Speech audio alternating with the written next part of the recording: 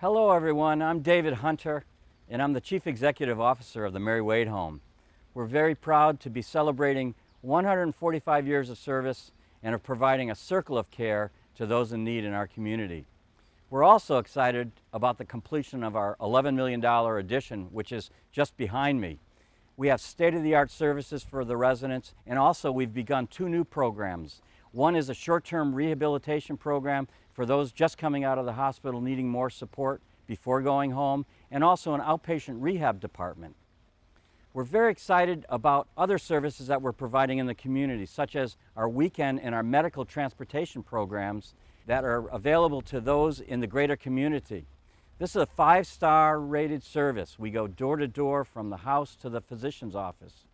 And what we find is that this service is helping to keep people out of hospitals, either through an, because of a readmission or a premature admission into the hospital. We thank you for your support and we really ask for your continued partnership with us in providing these services to the community. Our staff are highly trained and attentive to meeting the needs of our elderly clients. We provide punctual, timely service. Our transportation programs take great pride in meeting the individual needs of all of our clients. Really what I think makes our service stand out among the rest is it's a very personalized service. We truly get to take the time to know our clients. We just, they're just more than a name on paper and it really does show if you, you listen to some of our clients. If Mary Wade were to discontinue their transportation services, we would be greatly, greatly affected by it.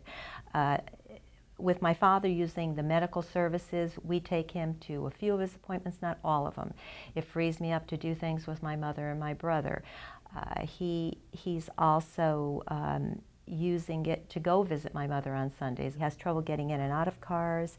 The van is, is, is a, a great way of getting him around.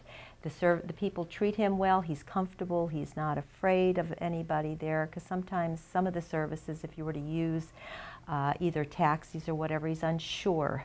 Here, uh, it's a safe feeling, the people are good. I've been using medical transportation uh, long before I got to uh, Mary Wade, but I wasn't very satisfied with it. And when I heard about Mary Wade, I switched over to them. I like the people.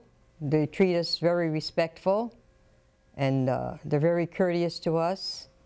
Very helpful when you uh, have your appointments. They'll help you on the van. They'll help you get off the van, because you know some of us have problems. They're very prompt in picking you up, and uh, after your appointment, they're very prompt in getting you back home. Uh, I was sitting outside with some neighbors, and I was waiting for this other van company to pick my sister and myself up. And it was a long time before they were not on time. And I was complaining because I had to go call them up.